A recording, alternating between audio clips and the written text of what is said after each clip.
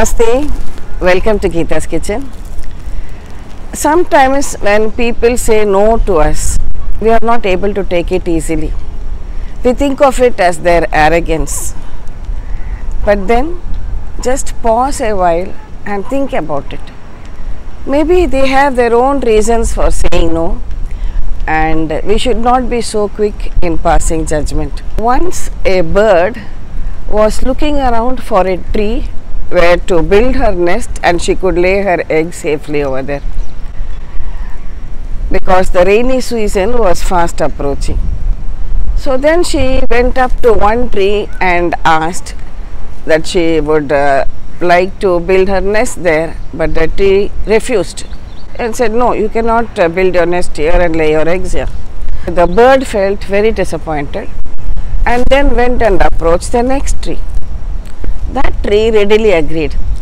So the bird was very happy and she built her nest over there, laid her eggs so that they would be quite safe in the rainy season.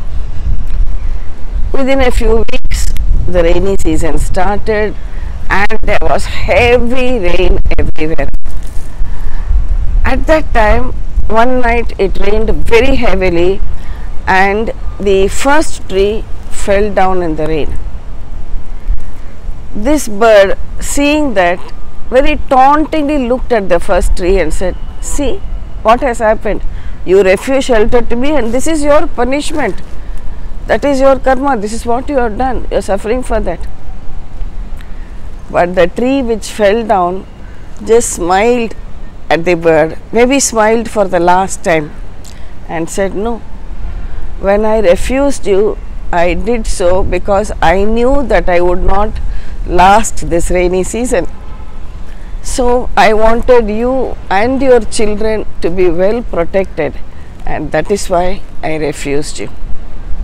Listening to this, the bird's eyes were filled with tears because she had not understood the true meaning of the no which had been given by the first tree. You should not always consider someone's no as their arrogance. Remember, we don't know the whole picture. Sometimes we need to respect the other person's decision, whether it's in our favor or not. We get so much involved in our own problems that we forget to look at the other person's point of view. Without even knowing the motive, we tend to make judgments. Without actually knowing what good is there behind their decision for. So, this is a simple thought I wanted to share with you this morning. Have a wonderful day ahead, and we'll meet again with another interesting episode from Gita's Kitchen. Thank you.